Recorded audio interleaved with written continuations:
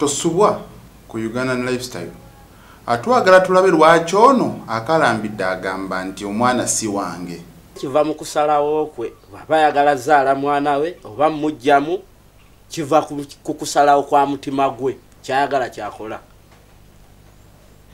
Ate kyagala kyakola si gwamusalirawo ngaomusala aa nze sinza amusalirawo oba ayagala ddujjamu? Ngaalugjamu nze ate wange agambye olubuto. Ekyakyogedde mu busungu okikakasa otya nti kyabusungu. Asazewo nakyogera. Kintu kyofyogedde wano kyofulumiza kyekituufu. Kyekituufu ekyo. akusigula takuwasa. Agamba n'abaana bwe wazaala eri mu bufumbo eno toleeta. Nja kuddayo kuba tangobangako eyo awo kirungi gwe- mukisa gw'olina omulungi ogwo gwe mukisa gwe gusooka n'emirembe gyange. Mirembe ki naawe egy'obwavu? Ah. mirembe ki? Kuba nja kuba siina kintawaanya ti ate wano wannuma eh, kati olaba jatuuka ekiseera atandika okwoyo oyo.